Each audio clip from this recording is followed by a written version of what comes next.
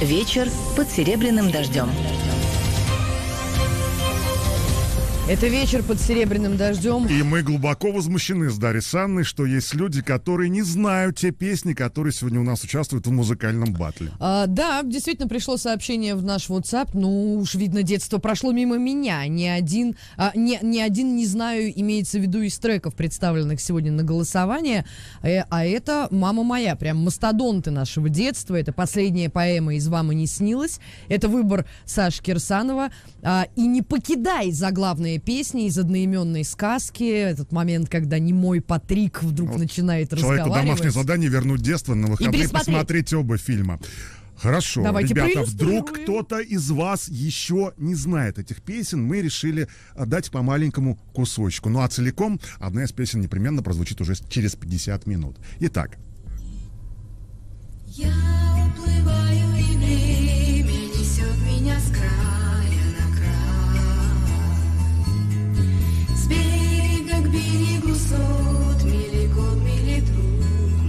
узнаете слова Рабиндраната Тагора? Последняя поэма вам и не снилась, конечно Которая же. пока выигрывает. К сожалению, может быть, твоему, а может быть и нет. 53% у нее, но и 47% у Ребята, любимого трека поднажмем. Дарьи Санны. И ночью звездной,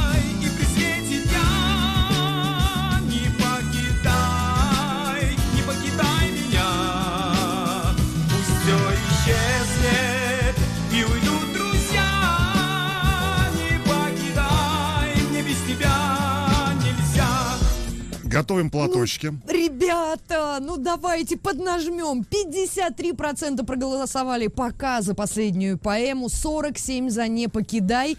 А, Душу голосование- перед вами раскрываем Буквально, сегодня. вот что нас заставляло плакать. да. А, голосовалка проходит в телеграм-канале радиостанции «Серебряный дождь». Не так много времени осталось. Я напомню, что в конце этого часа мы с вами и послушаем ту композицию, которую вы сегодня своим голосованием а, назначите, так сказать, победителем. Мы за эфиром с Кирсановым продолжаем вспоминать цитаты из э, «Он из вам и не снилось», «Я из фильма «Не покидай». Это, конечно, великолепное, которое принадлежит канцлеру из этой сказки. Какой пробочник вас всех здесь раскупорил. Раскупориваемся, ребята, и голосуем за «Не покидай». А мне он очень нравится цитата а, Миши, которого играет Леонид Филатов. Это замечательно просто. Я скотина. И его лаборантка говорит ему, я вас утешу, даже если так, то очень симпатично. Вам и не снилось, не покидай. И выбор, друзья, только за вами. К новостям вернемся через И пару только в телеграм-канале Silver Rain Radio. Это вечер под серебряным дождем. Я начинаю стремительно расстраиваться, друзья, настолько же стремительно, насколько количество проголосовавших набирает последняя а, поэма. Поэтому обращаюсь с традиционным призывом. Ребята, кто голосовал за «Не покидай», пора подключать родных и близких, ну и просто неизвестных прохожих на улице. Так. Пока еще не все так плохо. Для меня, по крайней мере. 56% Ну, последняя поэма голос. и 44% за «Не покидай». Но еще полчаса остается, друзья. Всего чтобы- полчаса. Да, вы могли повлиять на то, какая душещипательная, душераздирательная песня прозвучит в финале программы. Ну, все равно сяду в машину, включу себе «Не покидай». Вот так вот. Ну, хотелось бы, конечно, ее в эфире «Серебряного дождя» услышать. А, Голосовалка в телеграм-канале нашей радиостанции. Возвращаясь к новостям. «Нью-Йорк Таймс» сегодня со ссылкой на собственные источники сообщил о том, что американская разведка считает, что разрешение на удары Украине дальнобойным оружием западного производства вглубь России приведет к ответным мерам с российской стороны против США и других союзников. По данным Нью-Йорк Таймс, э, вместе с тем американская разведка сомневается в том, что использование дальнобойных ракет в принципе способно изменить ход конфликта. Значит, в публикации сказано, что на сегодняшний день у ВСУ ограниченное количество западных дальнобойных ракет и не ясно, сколько еще единиц смогут поставить союзники. Помимо этого, как следует из материала газеты, со ссылкой, напомню, на оценку разведки. После первых э, ударов российские военные могут перенести склады боеприпасов, командные пункты и другие критически важные объекты за пределы досягаемости ракет. В связи с этим, отмечает Нью-Йорк Таймс, э, американская разведка и сомневается в эффективности подобного метода ведения боевых э, действий. Среди ответных мер, которые Россия может предпринять, в случае, если такие ограничения для Украины будут сняты. Американская разведка называет поджоги и диверсии на объектах в странах Европы или атаки на военные базы союзников Украины, включая США. Что касается баз, штат, э, штаб, прошу прощения, сухопутных сил НАТО в странах э, Северной Европы будет размещен в Микеле, который находится примерно в 140 километрах от российской границы. Это заявление, э, сегодняшнее заявление министра обороны э, Финляндии. ТАСС приводит его заявление. Э, Мы предложим установить под штаб сухопутных сил НАТО в Микеле. В этом городе, сказано в заявлении, уже функционирует штаб сухопутных войск Финляндии. А ранее сообщалось, что в мирное время Ставка будет заниматься планированием и реализацией учебных мероприятий НАТО в этом регионе. Новая структура, получившая название «Штаб повышенной готовности», будет работать круглосуточно и подчиняться будет командованию в Норфолке на восточном побережье США. 19 сентября, напомню, глава НАТО Йен Столтенберг, а, он в октябре, между прочим, покидает свой а, пост после 10 лет должности, провел прощальную пресс-конференцию. А, Там подводил итоги своей работы, дал союзникам такое некое напутствие. По мнению Йенса Столтенберга, он передает альянс в руки своего наследника, бывшего премьера Нидерландов Марка Рютте, в лучшем состоянии, а, чем когда-либо. Лукашенко сегодня заявил, что возможная агрессия против Беларуси или России со стороны государств-участников НАТО спровоцирует масштабный конфликт с использованием ядерного оружия. Лукашенко подчеркнул, что Минск четко обозначил свои красные линии, и это государственная граница, за нарушением которой последует мгновенный ответ. Значит, и прямая цитата. «А, Мы применим ядерное оружие, нам могут ответить, и России в том числе. Поэтому она применит весь арсенал. Это уже мировая война. Этого не хочет и Запад. Они к этому не готовы, заявил Лукашенко во время встречи со студентами технических вузов, вузов и напомнил, что 17 сентября в рамках патриотического форума предупреждал, что будет считать нападение на Беларусь а, началом мировой войны. А, кстати, из заявления Лукашенко он сегодня заявил, что создание собственного мобильного телефона находится в числе вопросов национальной безопасности. Добавил, что Беларусь уже производит автобусы, тракторы и ноутбуки. На этой же, собственно, встрече со студентами заявил и отечественный мобильный телефон, о котором много-много сейчас говорят, мы тоже сделаем, обязаны сделать, потому что гаджеты сегодня, как вы видели в последнее время, превратились в боевое оружие. Это уже вопрос национальной безопасности. По словам Лукашенко, в Беларуси производят технику, которая по качеству не хуже лучших импортных образцов. И он сказал, что у страны есть достижения в микроэлектронике, информационных технологиях, фармацевтике и биотехнологиях. А власти в России заявили, что проверят цены на хлеб, молоко и мясо в 14 торговых сетях по России. Подробнее к этой новости перейдем через пару минут. Оставайтесь под серебряным дождем. Вечер под серебряным дождем. Да, ребята, ситуация с голосовалкой обстоит настолько грустно для меня и настолько а, весело для Кирсанова, Ну почему глу- грустно? что Просто Круэлла Урсуловна сейчас даже сбацал танец. по-доробески, да? Да. А, слушай, на самом деле просто ничего не поменялось пока что. Так вот хотелось бы, Количество чтобы голосов поменялось. увеличилось, но процентное соотношение пока что не поменялось. Где вы? Где вы, люди, которые так же, как и я, в детстве обожали сказку «Не покидай»? Покинули они тебя. Это И ужасно. ночью темной при свете дня. Сейчас спою к чертовой бабушке. Итак, сегодня а, у нас последняя поэма из э, фильма «Вам и не снилось». Это выбор Саши Кирсанова. Ну и «Не покидай» из одноименной сказки. Это а, моя большая любовь. Я реально обожаю этот фильм. Пересматриваю его часто. А, вот, и надо сказать, что у «Не покидай» пока 44%. Но остается ровно полчаса, друзья.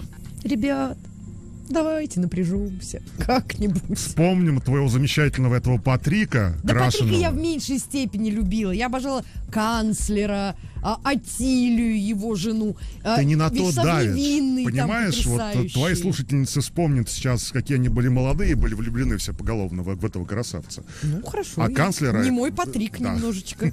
А у канцлера э, насморк артиллерийской, как мы знаем. Кстати, а канцлер в исполнении Альберта Филозова также Ой, играл Потрясающий. шикарного просто мужа, тетеху у Лидии Федосеевича Кшиной. Точно, слушай, он же в не обоих снилось. фильмах снялся. Конечно. Культовый кай- а, кадр, где он сиди, лежит э, в начале фильма «Вам и не снилось» в бабушкиной шале. А, И Лидия Федосеева да. Шукшина утюгом его гладит от радикулита. В общем, ребят, только от вас зависит, э, какой композицией мы закроем сегодняшний выпуск программы «Вечер под серебряным дождем». Еще раз отправляю вас в телеграм канал нашей радиостанции, где висит голосовалка. Давайте поднажмем за «Не покидай». Ну, как будет классно под дождем, вот это да, ехать, все это, врубить на всю катушку. Ну, под вашу последнюю поэму разве так поездишь? Ее даже это спеть как? нормально не получается. А не Ну покидай, прям как поорать Все, как мы любим. Ну, в полголоса, зато от души. Это Ой. любовь моя, это любовь моя. Все, песня прозвучала в эфире, друзья. Голосуем за «Не покидай». А, Последнюю поэму вычеркиваем из Кстати, голосовалки. пока не забыл, а, я просто понял, когда посмотрел этот фильм, уже будучи достаточно взрослым а, мальчиком, лет так в 14, почему все мои какие-то романтические отношения в большинстве своем связаны, вот такие драматическо-романтические, с девочками по имени Катя и Юля. Потому что Катю звали главную героиню «Вам и не снилось». А в повести главную героиню звали Юлька. Чувствуете? Чувствуете? Это сейчас началась Катя Юля. ми- ми- мину- минутка психоанализа от Да. Александра Кирсанова. Так, вот дорогие до чего, Катя и Юля. Вот до чего его довела Если наша что, музыкальная... да. Если что, я пока свободный парень. А, нам WhatsApp пишет, не покидай. А, спасибо огромное, но я напоминаю, что мы не в WhatsApp принимаем сообщения. Я отправляю вас в телеграм-канал Серебряного дождя, где Я висит начинаю нервничать, потому что, да, активизировались твои любители не покидай, но пока То- что я тебе точно говорю, прохожих на начали 1%. останавливать на улице. Вот сто процентов. А, во второй половине часа, друзья, сегодня пришла интересная новость, о которой пока что Пока что. Вообще мало что понятно. А, Центробанк сегодня предложил внедрить некий стандарт автокредитования. Зачем это надо? Понимают ли эксперты, как это должно выглядеть, чтобы правильно работать, удобно и полезно, так сказать, для всех участников этой истории? Об этом поговорим во второй половине часа. Дам вам возможность, разумеется, послушать комментарии эксперта. А, ну и не забываем, во-первых, про видеотрансляцию на нашем сайте silver.ru. Ну и, конечно, музыкальное голосование, которое, музыкальная битва проходит в телеграм-канале нашей радиостанции. Еще раз в телеге обращаю внимание всех тех, кто начал присылать нам сообщения в WhatsApp. Обожаю нашего слушателя мартовского зайца Катя и Юля. Тату. Вечер под серебряным дождем. Ты знаешь, Саш, мне кажется, м, наша аудитория а, прониклась вот этим нашим самым с тобой напряженным моментом, когда, да, в последние 4 минуты у нас вообще иногда все меняется. И сейчас просто все замерли для того, чтобы нам, так сказать, показать вот ту самую Кузькину мать. Чтобы мы нервничали в эти самые последние Ну, 4 конечно, у меня уже минуты. глаз дергается даже. Вижу, у меня оба, если ты не заметил. Это я не моргаю. Последняя поэма. 54% голосов. «Не покидай». не покидай, пожалуйста, пожалуйста, пожалуйста. Именно так звучит эта песня. 46% голосования проходит в телеграм-канале радиостанции «Серебряный Отметь, дождь». что два великих э, российских композитора сражаются сегодня. Евгений Крылатов против Алексея Рыбникова. Ребят, я очень... Это я глубоко так копнул сейчас. Ну, это, это было красиво. Я восхищаюсь тобой. Ты знаешь, как никогда. Александр хорош, ну, ну. так же, как и композиция «Не покидай», за которую я прошу вас проголосовать. Напомню, а, что песня, победившая в музыкальной битве, звучит а, в конце программы. Под нее обычно Артур, так сказать, заходит. Артур и песни в 19.00. Но мы параллельно с вами все-таки продолжаем обсуждать новости. А, Федеральная антимонопольная служба проанализирует цены на хлеб, молоко, мясо и овощи так называемого борщевого набора в 14 торговых э, сетях. Об этом сегодня э, сообщила непосредственно пресс-служба э, ФАС. Э, в сообщении сказано, что Федеральная антимонопольная служба запросила у торговых сетей информацию о ежемесячной динамике средневзвешенных закупочных и розничных цен, об объемах закупки и продажи вот этих самых продуктов с начала года по конец августа. А также запрошена информация о факторах, которые влияют на разницу между розничной и отпускной ценой. В том числе имеется в виду и в разных регионах. И на основе именно этих данных ФАС проанализирует обоснованность розничных цен на эти товары. Ведомстве напомнили, что необоснованный рост цен может стать основанием для применения антимонопольных мер. И, как сказано в сообщении ведомства, проверка затронет пятерочку, перекресток, магнит, Дикси, Ашан, Ленту, Глобус, Азбуку вкуса и ряд других сетей, уточнили Федеральной антимонопольной службы, э, службе. Ну а вечером 25 числа э, ФАС сообщила, что запросила у крупнейших производителей молочной продукции информацию о средневзвешенных э, оптово-отпускных ценах, полной себестоимости и рентабельности питьевого молока за первые 8 месяцев 2024 года. А также была запрошена информация о причинах роста цен за этот период. Но не знаю, будут ли опубликованы результаты этой проверки. По крайней мере, могу сказать, что если да, то я вам непременно о них сообщу.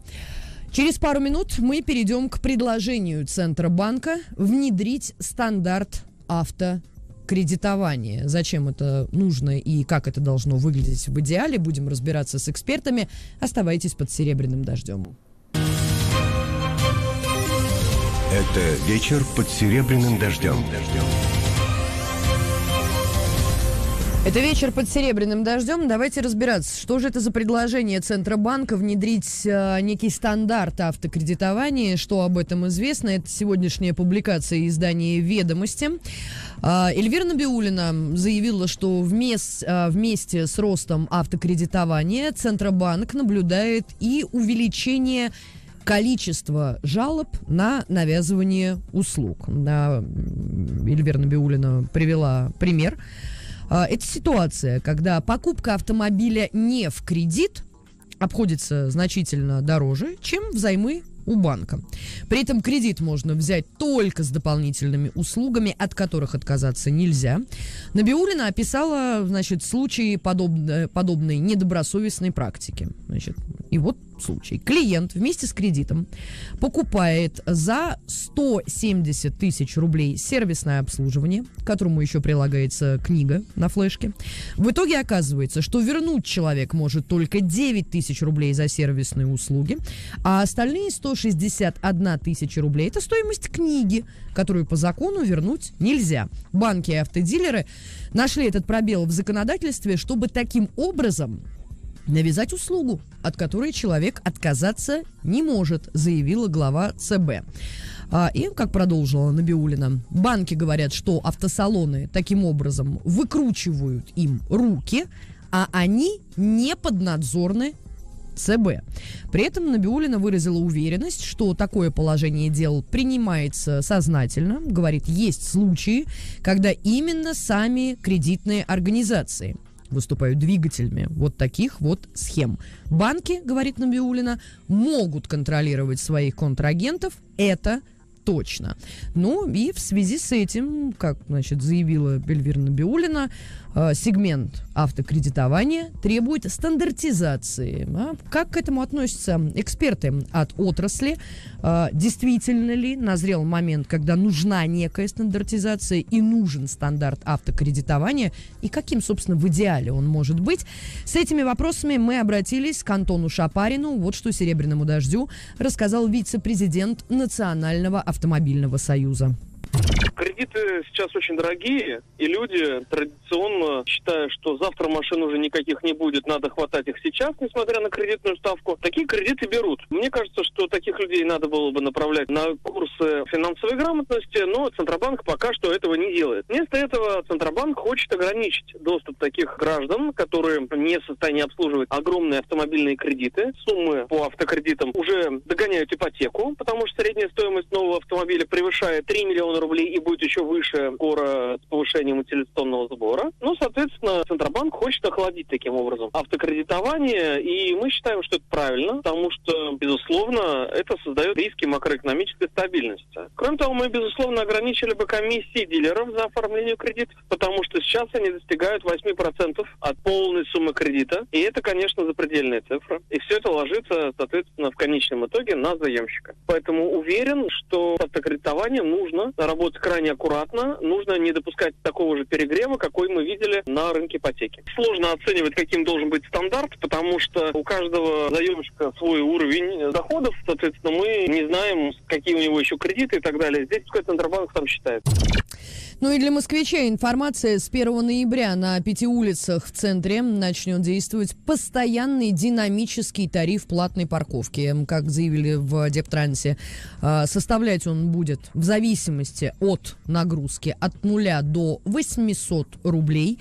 И нововведение затронет следующие локации. Ильинка, Новая площадь, а, площадь Тверская застава, Никитский переулок и Рождественский Бульвар. Ну а сейчас самое время ознакомиться. Сейчас очень жестко, потому что проснулись голосовать. любители твоего Патрика. Да не что? покидай, Да дай.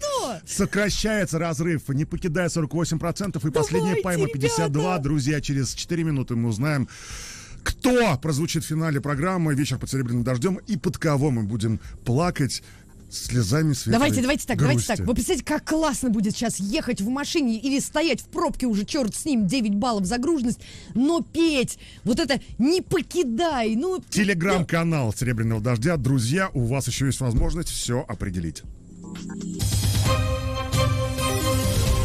Вечер под серебряным дождем.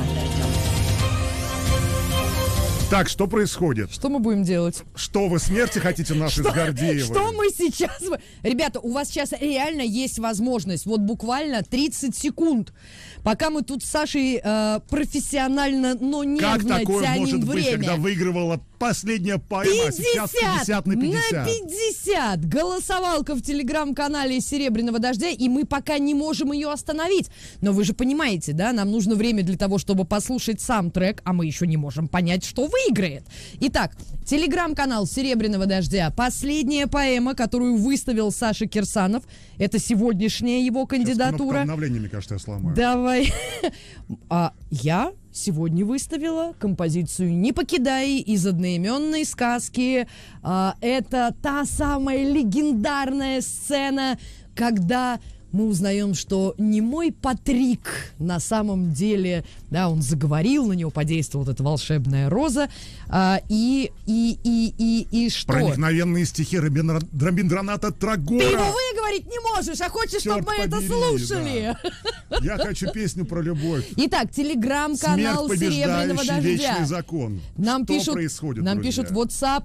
Не покидай, ребята, не WhatsApp. Телеграм-канал радиостанции Серебряный дождь. И мы не можем пока остановить голосование, Ребят, пока у нас просто 50 жесткач идет на абсолютно, 50. потому Это, что- это первый раз, надо сказать, такое, да? У нас обычно хотя бы там за 10-15 секунд до выхода в эфир Нет, было такое, что в эфире тоже мы определяли, кто. Это было, по-моему, как раз с Ириной Салтыковой.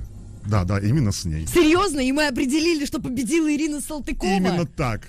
Ну, конечно. Итак, друзья, телеграм, тянуть время. телеграм-канал нашей Бросайте радиостанции.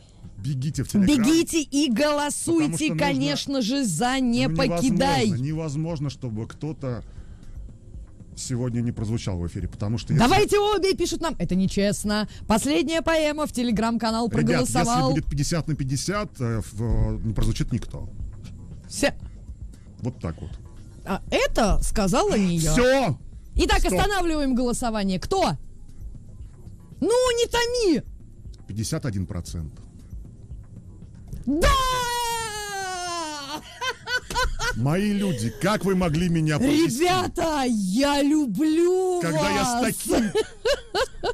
Ну что поделать, а? Я люблю вас, я люблю сказку «Не покидай», и это вторая победа над Кирсановым. Справедливости ради, он четыре раза подряд выигрывал. К сожалению, мы слушали даже Ирину Салтыкову, но Александр, имеющий бледный вид, Вот у меня сейчас такой же вид, любезны. какой был у Дарьи Гордеева, когда победила Ирина Салтыкова. это правда. Ребят, у меня нет слов, все, всем пока, хороших выходных.